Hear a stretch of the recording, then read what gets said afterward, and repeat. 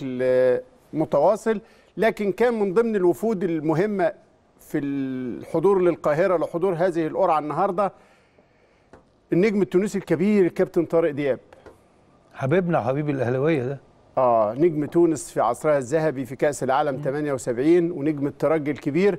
حرص الكابتن طارق دياب على زيارة الكابتن محمود الخطيب في مقر النادي الأهلي في الشيخ زايد. التقاه اليوم في لقاء صداقة خاصة جدا. كان جاي معاه الكابتن وائل جمعة طبعا صخر الدفاع الأهلي ونجم التحليل مع الكابتن طارق دياب في البي ان لكن كانت قعده دافية جدا.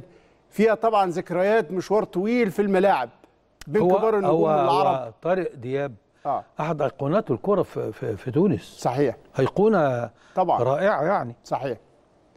هو يعني أنت عارف أنا أنا يعني متحيز لطارق دياب في الكورة في تونس متحيز ل آه، بودربالة. عزيز بودربالة في عزيز. بودربالة في آه، المغرب. أراهم آه. يعني دول ال... ورابح مجر في آه، في- الجزائر في وماجد. عبد الله يعني أنت عارف هي ال ال الأربع خمس قمم العربيه أيقونات آه. أيقونات كده آه. في الجيل ده بالذات. أيوه فكان اصطحبوا الكابتن الخطيب في جولة في الأهلي في الشيخ زايد.